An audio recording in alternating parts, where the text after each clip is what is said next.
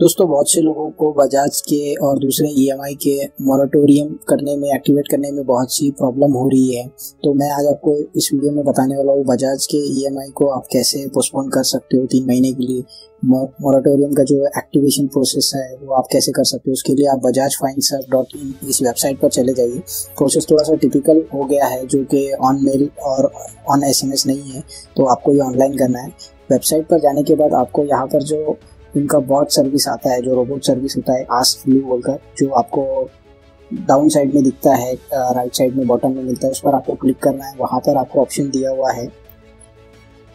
उस पर क्लिक करने के बाद आपको टॉप पर ऑप्शन दिख, दिख रहा है जैसे आपको ये वीडियो में दिख रहा है Bajaj finance finance is offering E M I moratorium तो यहाँ पर आपको जो लिंक का बटन दिया हुआ है click here to know more पे इस पर आपको क्लिक करना है।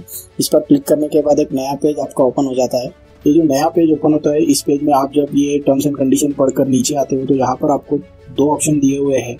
पहला ऑप्शन तो यहाँ पर आपको दिया हुआ है कि अगर आप और डिटेल इसके बारे में चाहते हो एफ़ पढ़ना चाहते हो तो उस पर क्लिक कीजिए, उसके नीचे आपको दूसरा लिंक मिलेगा। If you still wish to avail the moratorium please click किया तो अगर आपने टर्म्स एंड कंडीशन अच्छे से पढ़ लिए है, अगर आप के जो लोन चल रहे हैं ज़ीरो इंटरेस्ट वाले, अगर आप उस पर इंटरेस्ट देने के लिए रेडी हो, चौबीस परसेंट इंटरेस्ट तो आप यहाँ पर क्लिक करके अवेल कर सकते हो उस रिक्वेस्ट को। तो यहाँ पर आपको क्लिक करना है। क्लिक करने के बाद आपको जो है एक लॉगिन पेज खुलता है, जिस पर आपको आपका लॉगिन करना है आईडी मतलब मोबाइल नंबर या ईमेल आईडी जो आपने दिया हुआ है बजाज में, उससे आपको लॉगिन करना है। तीसरा मेथड इन्होंने बताया कि ईमेल करके बट ईमेल पर ये प्रोसेस नहीं हो रही है रिक्वेस्ट वो ईमेल पर सिर्फ़ आपको एक रिप्लाई दे देते हैं और उसमें लिखते हैं कि आप खुद वेबसाइट पर जाके सेल्फ सर्विस कीजिए। तो यहाँ पर आप लॉगिन कीजिए आपके मोबाइल नंबर से या ईमेल आईडी से। मैंने मोबाइल नंबर से लॉगिन किया है, लेकिन ओटीपी इसके आ नहीं रहे हैं। तो मैं आपको सजेस्ट करूँगा कि आप ईमेल आईडी से लॉगिन करें ईमेल आईडी और डेट ऑफ़ बर्थ से आप लॉगिन करें। यहाँ पर मैंने दो से तीन बार ट्राई किया है, लेकिन यहाँ पर ओटीपी रिसीव नहीं हो रहे हैं मोबाइल नंबर से। तो मैंने ईमेल आईडी मेरा ईमेल आईडी से मैंने यहाँ पे लॉगिन किया है। ईमेल आईडी पर जो मुझे वन टाइम पासवर्ड यहाँ पर मिला है, उससे मैंने वेरीफाई किया है। वेरीफाई करने के बाद यहाँ पर लॉगिन हो गया है पोर्टल तो आप भी ट्राई करें, अगर आपका मोबाइल से नहीं हो रहा है तो आप ईमेल आईडी से ओटीपी जनरेट करें और ईमेल आईडी पर जो ओटीपी आपको रिसीव होगा, उससे आप आपका लॉगिन आईडी और पासवर्ड वेरीफाई कर लें। अब इस पोर्टल में लॉगिन होने के बाद आपको यहाँ पे रेजर रिक्वेस्ट का ऑप्शन मिलता है, जिसमें आपको प्रोडक्ट में सबसे पहला ऑप्शन है कोविड नाइन्टीन मॉरेटेरियम पॉलिसी उस पर क्लिक करना है। उसके बाद प्रोडक्ट टाइप में आपको तीन चार अलग अलग टाइप के प्रोडक्ट आएँगे। इसमें आपके अलग अलग प्रोडक्ट हो सकते हैं।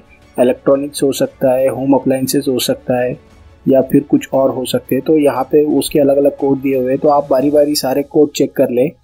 जो जो कोड्स में आपके लोन अवेलेबल होंगे, वो सब पर आप अगर अवेलेबल करना चाहते हैं तो आप अवेलेबल कर ले। या अगर आप उसमें से कोई लोन छोड़ देना चाहते हैं, जिस पर आपको नहीं करना है अवेलेबल मोराटेरियम तो वो आप उस लोन को छोड़ दें। वो लोन का ईएमआई आपका डेबिट होता रहेगा अकाउंट से।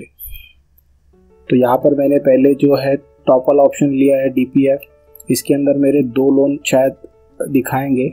और रिक्वेस्ट टाइप में आपको वापस से कोविड नाइन्टीन सेलेक्ट करना है। उसके बाद नीचे आपका लोन अकाउंट दिखाएगा। लोन अकाउंट नंबर आपको सेलेक्ट करना है।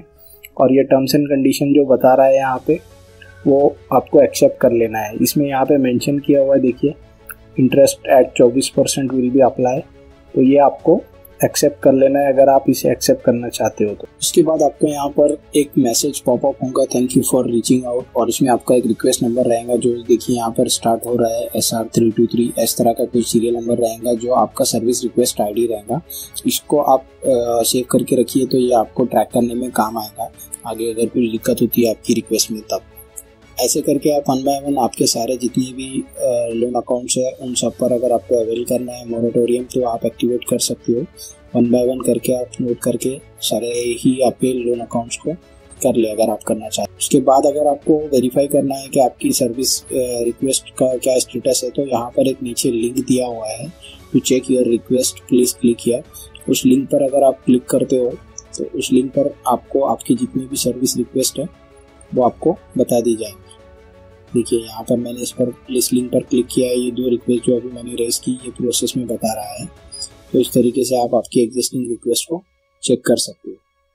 तो दोस्तों, उम्मीद करता हूँ ये इन्फॉर्मेशन आपको हेल्प करेंगी और आप आपके ई को जो है पोस्टपोन करने के लिए ये प्रोसेस को यूज़ कर पाओगे इजीली अगर कोई आपको प्रॉब्लम आती है तो आप कमेंट करके बताइए, आपको उस पर सपोर्ट दिया जाए उम्मीद करता हूँ फ्रेंड आपको ये वीडियो ज़रूर पसंद आया होगा। किसी भी तरह की टेक्निकल हेल्प और क्वेश्चन के लिए आप मुझे इंस्टाग्राम या मैसेज कर सकते हैं डिस्क्रिप्शन में, लिंक दिया हुआ इंस्टाग्राम और फेसबुक का। और आपको अगर कोई फीडबैक या सजेशन देना हो तो आप यूट्यूब के कमेंट सेक्शन में हमें कमेंट करके बता सकते हैं। इसी तरह के नए टेक्निकल वीडियोस के लिए आप चैनल को सब्सक्राइब करें वीडियो को लाइक करें और अपने फ्रेंड्स के साथ ज़रूर शेयर करें। चलिए मिलते हैं अगले वीडियो में, तब तक के लिए good day bye bye take